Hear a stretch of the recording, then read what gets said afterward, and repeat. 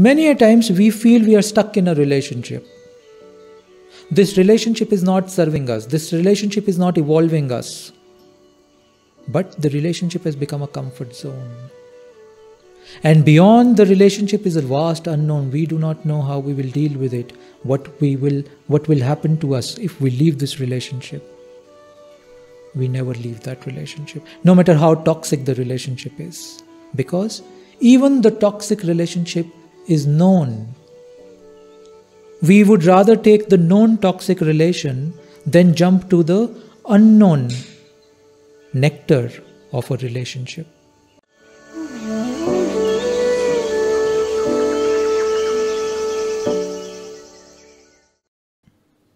How do you really overcome a fear? I'm asking. We've established that it is the fear of the unknown that troubles us big time how do you move beyond beyond any fear? How do you overcome any fear in life? So if we see what we are saying here is the only way we can encounter and move beyond any fear is by facing it. We've almost all of us agreed on this. By looking into the fear we are able to encounter it we are able to go beyond this it is extremely important session today friends. If if we can get this today i think a great leap can happen in just one session. So please be very attentive today. Follow this through. Hmm?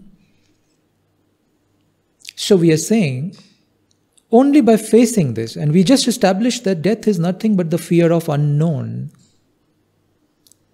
which then means by facing the unknown on a daily basis will become accustomed we will become accustomed to go beyond the fear of unknown.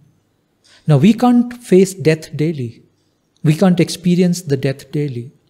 But we can experience and encounter the unknown on a daily basis. And if we start to encounter that unknown on a daily basis then we are ready for this final unknown also. Let's bring some examples There are so many things in life, friends, in your, my, everybody's life that we want to do. It could be any small thing, any big thing. There are so many hundreds of things that we want to do, but we are not able to do those things because we are in a comfort zone. And when we are in a comfort zone, we do not want to leave the comfort zone behind and enter into the unknown zone because whatever is beyond the comfort zone is unknown. Whatever is beyond the comfort zone is a field of vast unknown. Look at the practical examples now. We are in a certain relationship, let's say, you know, family relationship, love relationship, some kind of a human relationship. We all are in some kind of human relationships with each other. Many a times we feel we are stuck in a relationship. This relationship is not serving us. This relationship is not evolving us. But the relationship has become a comfort zone. And beyond the relationship is a vast unknown. We do not know how we will deal with it, what we will what will happen to us if we leave this relationship. We never leave that relationship, no matter how toxic the relationship is. Because even the toxic relationship is known. We would rather take the known toxic relation than jump to the unknown nectar of a relationship. Job, whatever our profession, career, work is. There are certain things that we want to do in life, do in life, create in life, experience in life. But we do not have time because we are stuck in a certain job, business, profession, career, whatever we want to call it. It is the known zone of the comfort we know this job no matter how sickening it is to us. We know this career path no matter how we how much we don't relate with it, how much we are disconnected with it. But to leave this, drop this and jump into the unknown field of entrepreneurship, let's say, or anything, it is too much of a fear. We have seen thousands of or hundreds of new entrepreneurs struggling or becoming failed or so on and so forth. It is a big unknown. We are not able to take a leap of faith jump. We don't do that. Right? We make plans. We we make plans that okay, after 10 years of so such and such thing is when I will be I will do what I really love doing. 10 years? This big unknown called death is knocking on the door right now. Especially in India, friends. You know, last week I I was running a course with a with a university in London. It was a five week course, and that course ended last week, last Thursday. It was a phenomenally enriching course for all of us.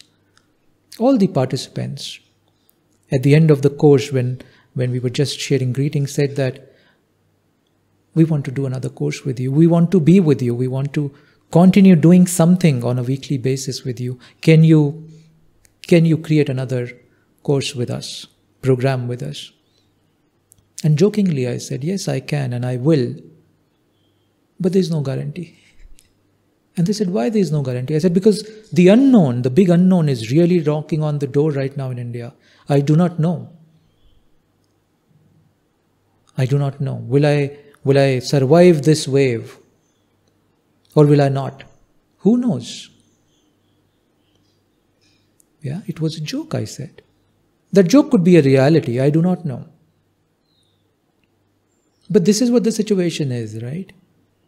Do I have 10 years to plan that I will do what I want to do in life, what the meaningful thing that I want to do with this form of life, with this life? Can I postpone it?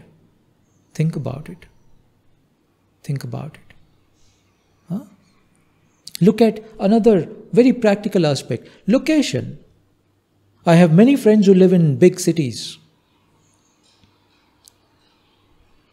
You know, yesterday we had a phenomenal session with very large corporates. There were over 100 CEOs and head of businesses and organization from you know some 80 different large corporations in India.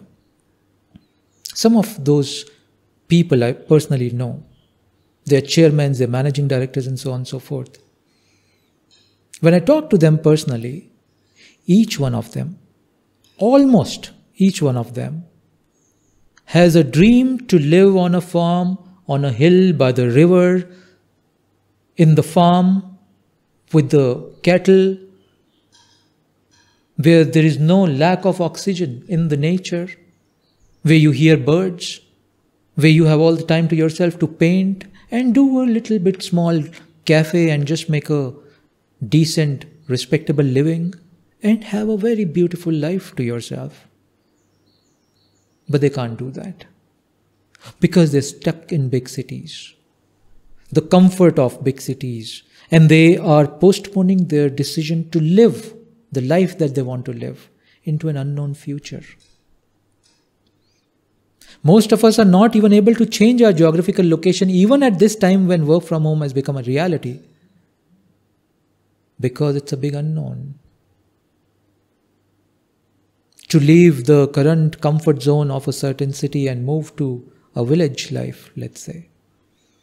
Even when we have all the means to do it, we're still not doing it. We have all the facilities, we have all the means to do it, we're still not doing it.